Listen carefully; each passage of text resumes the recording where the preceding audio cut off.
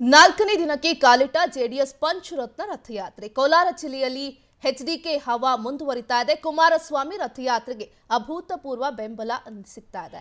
ಕೋಲಾರ ಕ್ಷೇತ್ರದಲ್ಲಿ H D Kumaraswamy ಅವರು ಸಂಚಾರವನ್ನ ಮಾಡ್ತಿದ್ದಾರೆ. ದಿನವಿಡೀ ಸಾರ್ವಜನಿಕ ಸಭೆಗಳಲ್ಲಿ ದಳಪತಿ ಭಾಗಿಯಾಗ್ತಿದ್ದಾರೆ. ರಥಯಾತ್ರೆ ಮಾರ್ಗ ಮಧ್ಯೆ ಸ್ಥಳೀಯರ ಜೊತೆ ಸಭೆ ಇದೆ. ಬೆಳಗ್ಗೆ ಹತ್ತಕ್ಕೆ ಶಿವಾರ ಪಟ್ಟಣದಿಂದ ತಿರುಮಲಕೊಪ್ಪ ಆಗಮಿಸ್ತಾರೆ. ಇನ್ನು ಒಕ್ಕಲೇರಿಯಲ್ಲಿ ಸಾರ್ವಜನಿಕ ಸಭೆಯಲ್ಲಿ ಕುಮಾರಸ್ವಾಮಿ ಭಾಗಿಯಾಗ್ತಾರೆ. ಸಂಜೆ ಐದು ಹತ್ತಕ್ಕೆ ನರ್ಸಾಪುರದಲ್ಲಿ ಸಾರ್ವಜನಿಕ ಸಭೆ ಇದೆ. ಸಂಜೆ ಏಳು ನಲವತ್ತೈದಕ್ಕೆ ವೇಮಗಲ್ನಲ್ಲಿ ಸಾರ್ವಜನಿಕ ಸಭೆ, ರಾತ್ರಿ ಹತ್ತು ಮೂವತ್ತಕ್ಕೆ ಕ್ಯಾಲನೂರಿನಲ್ಲಿ ಸಾರ್ವಜನಿಕ ಸಭೆ, ಕ್ಯಾಲನೂರಿನಲ್ಲಿ ಗ್ರಾಮ ವಾಸ್ತವ್ಯವನ್ನು ಎಚ್ಡಿಕೆ ಹೂಡಲಿದ್ದಾರೆ.